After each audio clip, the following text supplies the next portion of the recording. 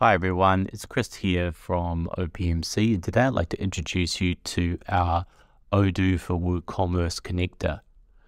This is version 3.4.1 of the connector and by the time you watch this video we may have released a number of new versions.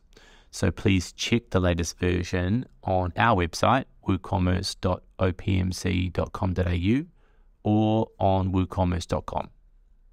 Once you've uh, purchased and installed the plugin on your WordPress dashboard, you can go into WooCommerce settings. And once you're in there, once it loads, you will click on integration and then Odoo integration. You'll see immediately at the top here it says that the integration server URL is invalid, that's because I've put pretend information into this form. So it will tell you straight away whether your credentials are incorrect or not, which helps a lot in problem solving. The plugin supports Odoo versions 13 through 16 at the time of making this video. So you select which version you have, because some people do have older versions. Then you can select the server URL for your database, your Odoo database, database name, username, and password. These are this is the basic settings tab. You also have the ability to turn on and off the debug log. And for non-technical users, that just is a way for us to get an idea of what's causing problems that you're having and you can supply that information to us when you are reaching out for support. Uh, for technical users, uh, it does provide you with the ability to log more detailed information and better problem solve yourself. We also have SKU mapping. So there's a couple of different ways that Odoo does this, and you can choose the way that best suits you. Then we have the import tab and it's made up of a couple of key features. You can select the frequency of various imports and a whole bunch of other settings too, including manual settings. So here we can select uh, the frequency of importing products, and we have the option to do that uh, twice a day, once a day, or every hour.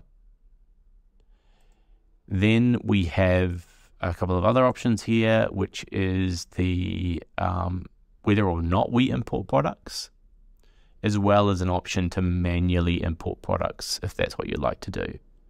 You can also have the option to exclude point of sale products as well.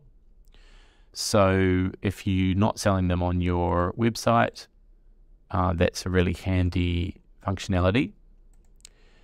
You can choose whether or not you update products, whether or not you synchronize stock and the pricing, because those are things that maybe you want to have more flexibility over. So it does provide some granular functionality in that regard.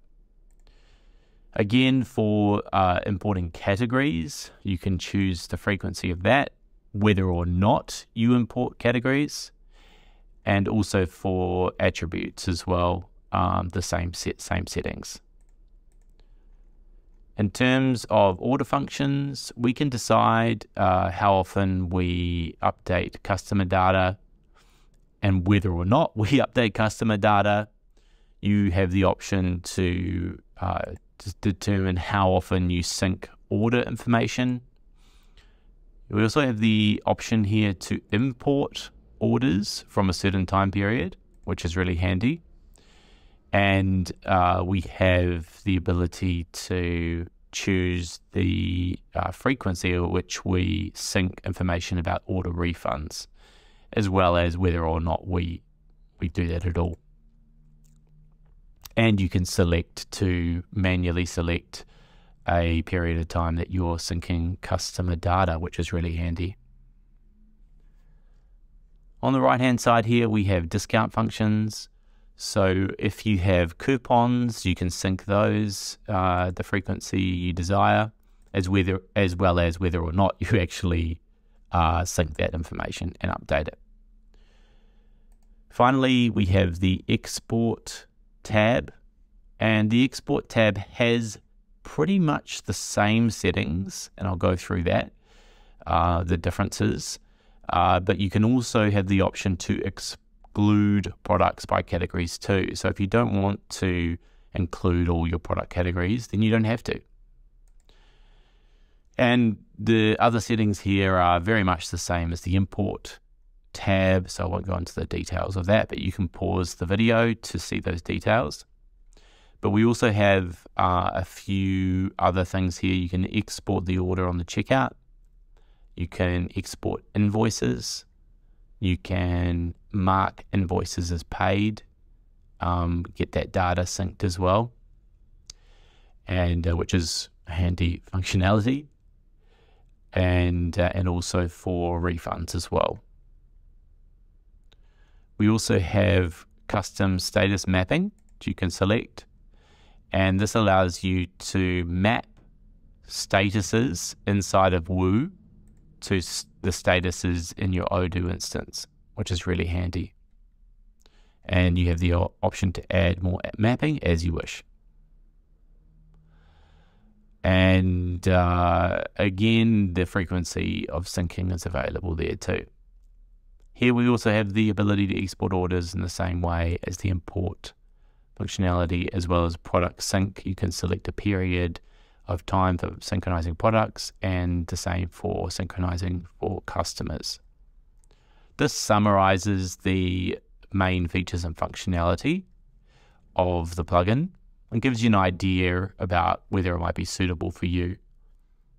We would recommend if you would like to try it out and make sure it's suitable that you purchase the plugin because we offer a 30 day money back guarantee on the product. If it's not suitable, you can get a full refund and stop using it. If you'd like to find out more about the product or have any specific questions, please reach out to us via our website. Um, probably the best one is woocommerce.opmc.com.au or via support if you're already a customer on woocommerce.com. You can also, via woocommerce.com, ask questions to support pre sales as well. On those websites is all the documentation in full for the plugin, as well as some more product information on the product page, which we'll include in links in the description below. If you would like anything else, please reach out to us and we're happy to help. And enjoy.